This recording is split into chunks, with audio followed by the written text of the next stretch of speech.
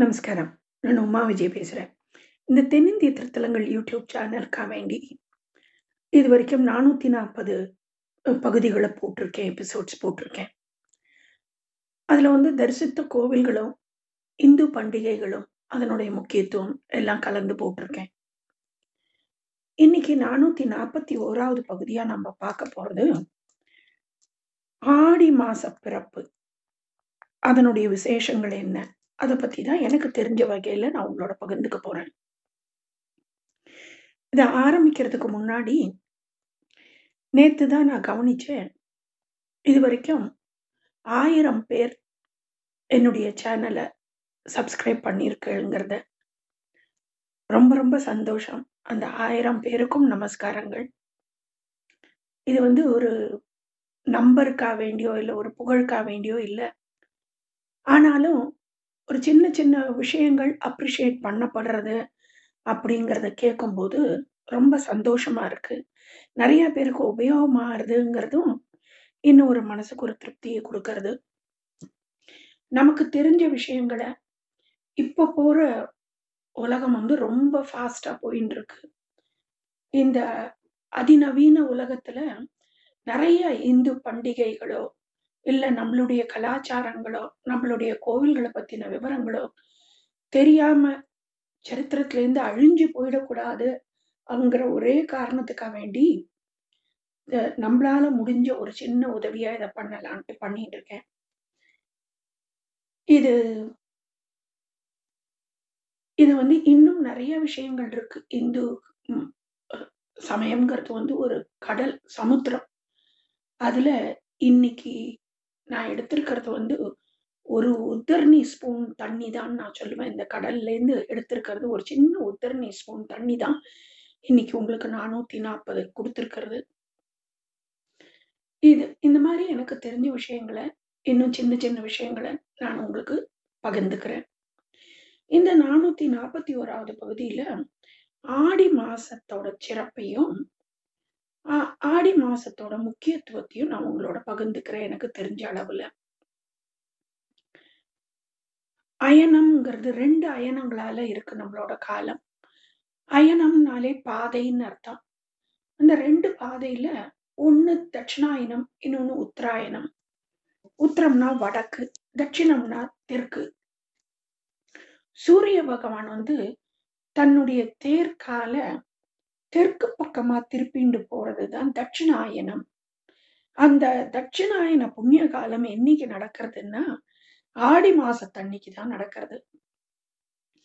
தமிழ் மாசங்கள்ல நாலாவது மாசம் இந்த ஆடி மாசம். அத வடமொழியில ஆஷாட மாசம் அப்படின்னும் சொல்லுவார்.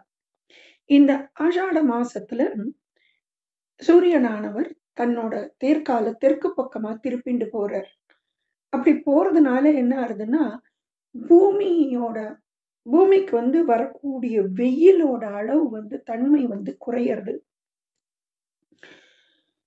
சித்திர, வைகாசி, ஆணி எல்லா மாசமுமே உங்களுக்கு உத்தராயண காலத்துல வெயில் அவ்வளவு கொளுத்தி தள்ளியிருக்கும். அதுவும் தென்னிந்தியால கோடை காலம்ங்கிறது அவ்வளவு விகரஸா இருக்கும்.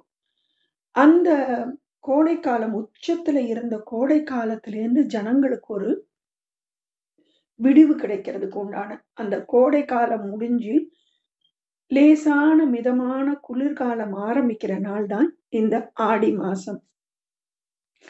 இந்த ஆடி மாசத்துல வந்து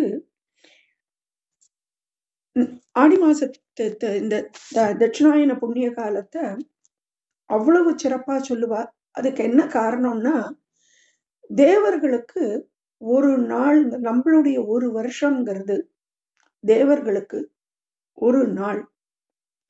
அப்ப தை மாசம்லேருந்து ஆனி மாசம் வரைக்கும் இருக்கிற காலம் தேவர்களுக்கு விடியற் காலை நேரத்திலேருந்து பகல் நேரமா போறது. இந்த ஆடி மாசத்திலேருந்து மார்கழி மாசம் வரைக்கும் தேவர்களுக்கு இரவு காலம். அந்த இரவு நேரத்துல தான் நம்ம எல்லா பண்டிகைகளையும் நம்ம கொண்டாடுறோம். விளக்கு வைக்க நம்மளுடைய இந்து பண்டிகைகள் எல்லாமே பார்த்தோம்னா விளக்கேத்தி வச்சு பண்ற பூஜைகள் எல்லாமே ஆடி மாசத்துக்கு அப்புறமா ஆரம்பிக்கும். அந்த ஆடி துவக்கம் தான் இந்த ஆடி மாச பிறப்பு அது இந்த வருஷம் ரெண்டாயிரத்தி இருபத்தி ரெண்டு ஜூலை மாசம் பதினேழாம் தேதி ஆரம்பிச்சு ஆகஸ்ட் மாசம் பதினாறாம் தேதி ஆடி முடியிறது இந்த ஆடியில வந்து மழைக்காலம் ஆரம்பிக்கிறதுன்னு சொன்னேன். ரொம்ப கொளுத்துற வெயில்ல இருந்துட்டு கொஞ்சம் குளிர ஆரம்பிச்சிருதுன்னா வியாதிகள்லாம் பரவ ஆரம்பிக்கும். ஜனங்களுக்கு உடல்ல அந்த நோய் தொற்றுகள் வரக்கூடிய வாய்ப்புகள் இருக்குங்கிறபடியா இந்த ஆடி மாசத்துல நிறைய மஞ்சள் வேப்பலை எல்லாத்தையும் வச்சு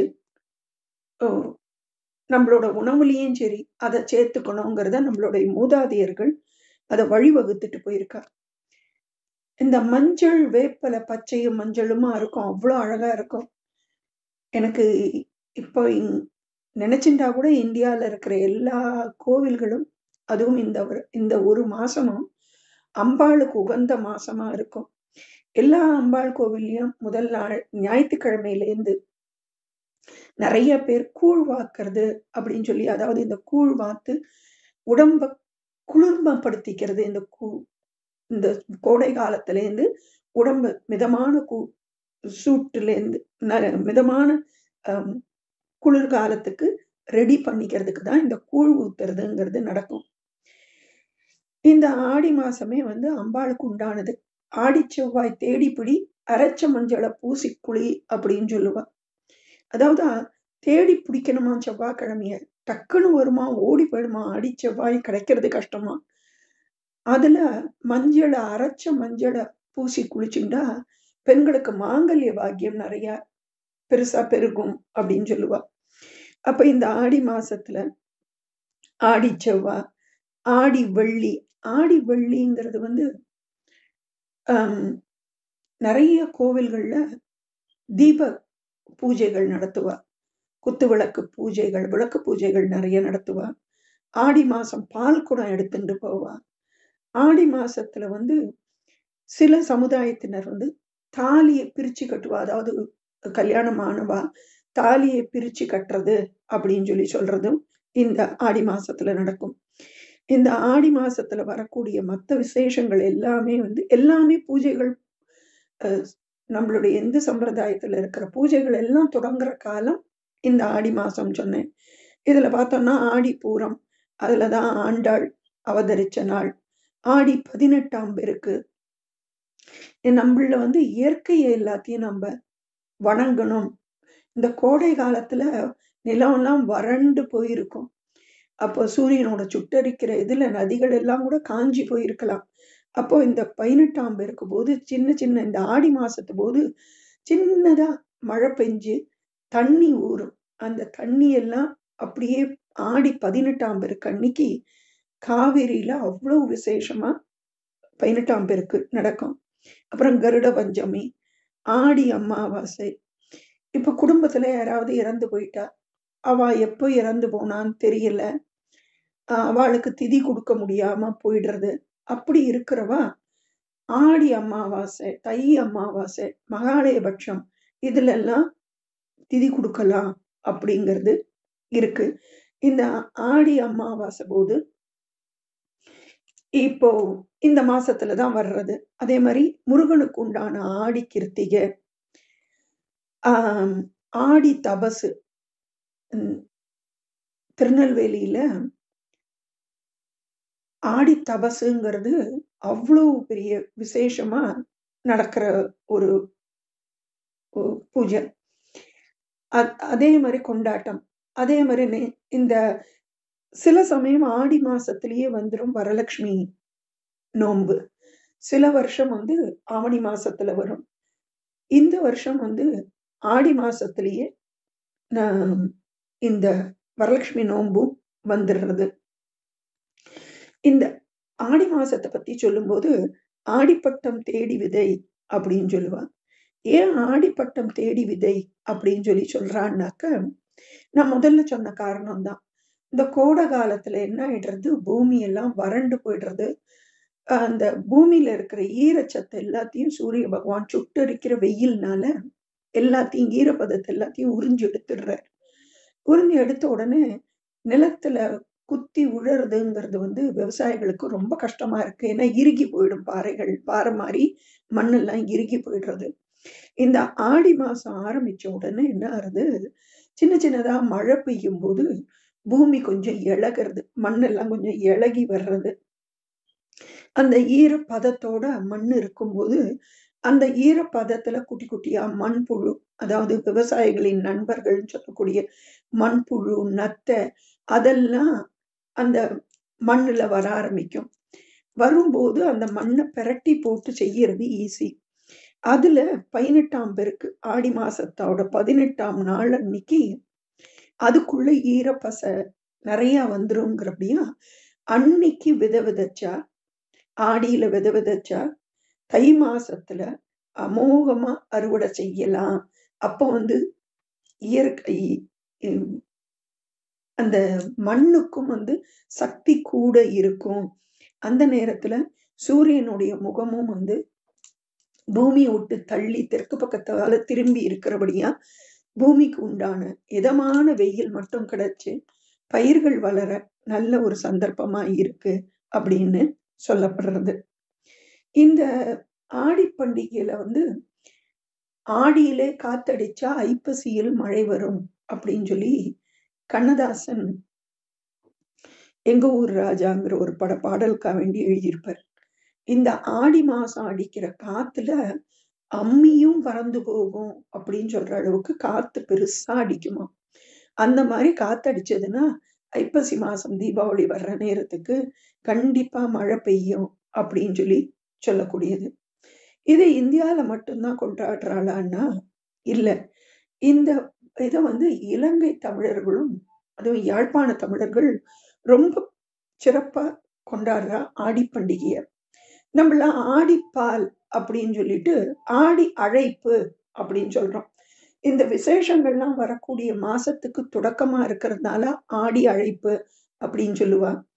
இன்னொன்னு வீட்டுக்கு மாப்பிள்ளையை அழைச்சு ஆடிப்பால்னு சொல்லி தேங்காய் பாலில் வெல்லத்தை கலந்து பாயசம் பண்ணி அதான் முதல் நாளைக்கு அந்த ஆடி பண்டிகை அன்னைக்கு வாசல்ல கோலம் போட்டு செம்மண்ணிட்டு வீட்டை அலங்காரம் பண்ணி அந்த தே- பால் தேங்காய் பால் வெல்லம் கரைச்ச பாலை பாயசம் பண்ணி நெய்வேத்தியம் பண்ணி ஆஹ், மாப்பிள்ளைய அழைச்சு விருந்து கொடுப்பா சில சமூகத்தார்ல கல்யாணம் ஆன கணவன் மனைவி புதுசா கல்யாணம் ஆன ஆயிருந்தா அவளை பெண் வீட்டுக்கு அழைச்சிட்டு பெண் அந்த ஒரு மாசமும் ஆடி மாசமும் அவ வீட்லேயே தங்க வச்சுருவா அதுக்கு என்ன காரணம் சொல்லி சொன்னா ஆடியில ஒருத்தர் கர்ப்பம் தரிச்சா சித்திர மாசத்துல குழந்தை பிறக்கிற மாதிரி இருக்கும். சித்திர மாசங்கிறது கோடை காலம் சொல்லி சொன்னேன். ஆதி காலத்துல ஆஹ் உங்களுக்கு வந்து வாகன வசதி எல்லாம் கிடையாது. அதே மாதிரி மருத்துவமனைகளும் தள்ளி தள்ளி இருந்தது. அப்போ அந்த சித்திர மாசத்துல மருத்துவமனைக்கு கொண்டு போறதும் சிரமமா இருக்கும். அந்த வெயில்ல குழந்தை பிறந்தா அதுவும் அந்த வெயில் சூட்டெல்லாம் தாங்கணும்.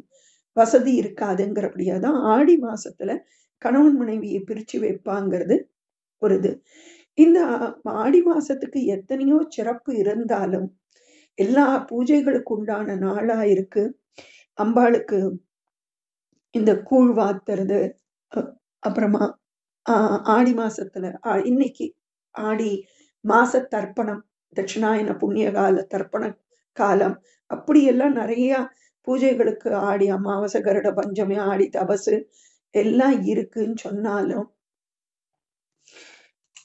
இந்த மாசத்துல சுபகாரியங்களை கல்யாணம் வீடு குடி போகுதல் அதெல்லாத்தையும் செய்ய மாட்டேன்.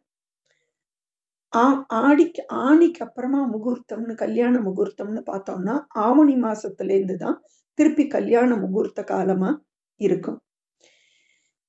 இந்த ஆடியில வந்து ஆடி பதினெட்டாம் தேதி இந்த ஆடி பட்டம்ங்கிறத அன்னைக்கு வித விதைச்சா ஜனங்களுக்கு அந்த பதினெட்டு நாள்ல நிலம் இதாயிடுங்கிறபடியா விவசாயிகளுக்கு ஆடி பட்டம்ங்கிறது ரொம்ப சிறப்பான நாள். அவ விவசாயங்கள்லாம் தழைக்கிறதுக்கு உண்டான மாசமாகவும் இந்த ஆடி மாசத்தை நம்ம எடுத்துக்கலாம். ஆடி வெள்ளி. பூஜைகளை பத்தி சொல்லவே வேண்டாம். நான் வளர்ந்தது மயிலாப்பூர்ல. அதனால சுத்தி வர இருக்கிற கோவில்கள்ல கோலவழியம்மன் கோவில் ஆடி மாசம் அவ்வளவு சிறப்பா எல்ல தெய்வம். அங்கெல்லாம் அவ்வளவு சிறப்பா பால் காவடி ஆயிரத்தி எட்டு பால் காவடி எல்லாம் எடுத்துட்டு போறதெல்லாம் ஞாபகத்துக்கு வருது. அதே மாதிரி இந்த பக்கம் திரும்பினா மந்தவழி மந்தவழியில தண்டு மாரியம்மன் கோவில் அங்க தேனாம்பேட் பக்கத்துல ஆலயம்மன் கோவில். இப்படி எல்லா இடத்துலயும் கூழ் ஊத்தி வேப்பலையில வேப்பிலையை போட்டு அந்த கூழில் இடிச்சு போட்டு கொடுப்பா. அதை குடிச்ச நாட்கள் எல்லாம் தான் ஞாபகத்துக்கு வருது.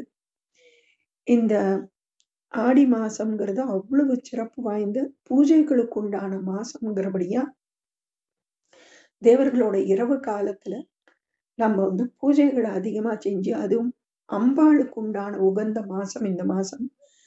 இந்த அம்பாளோட அனுகிரகத்தை பெறறதுக்கு நம்ம நம்மளால முடிஞ்ச பூஜைகளை செஞ்சு புண்ணியத்தை பெறுவோம். இந்த வீடியோ பிடிச்சிருந்ததுன்னா லைக் பண்ணுங்க கமெண்ட் பண்ணுங்க ஷேர் பண்ணுங்க. நமஸ்காரம். தேங்க்யூ